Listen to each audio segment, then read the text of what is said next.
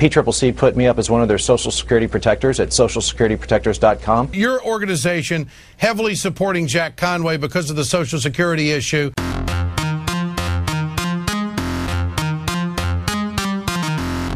Today, Jack Conway was one of over 200 bold Democratic candidates who came out swinging on Social Security, saying that they will absolutely oppose any Republican attempt to cut it or privatize it. What's great about Jack Conway on the campaign trail is that in speeches, in these debates, he's actually doing what progressives have been urging Democratic leaders to be doing all year, which is when the public is overwhelmingly on your side on an issue like Social Security, you go on offense. Since 1937, I don't think we've obeyed the Constitution at all. He's on record as saying that we haven't followed the Constitution in this country since 1937. In 1937, it's no accident, the Supreme Court upheld Social Security. The significance of Rand Paul's statement is clear. Rand Paul doesn't think Social Security is constitutional. He's called Social Security a Ponzi scheme. He thinks Social Security is a Ponzi scheme that ought to be privatized. He puts forward all this stuff, uh, Social Security is a Ponzi scheme and ought to be privatized. I'm sick and tired of him putting forward policies that are so callous. Rand Paul is wrong.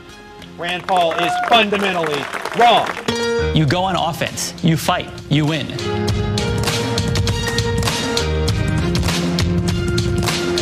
PCCC put me up as one of their Social Security protectors at socialsecurityprotectors.com. I think people like Jack Conway and these other candidates deserve a lot of credit and they deserve our support, and they will win if we're there fighting with them this year.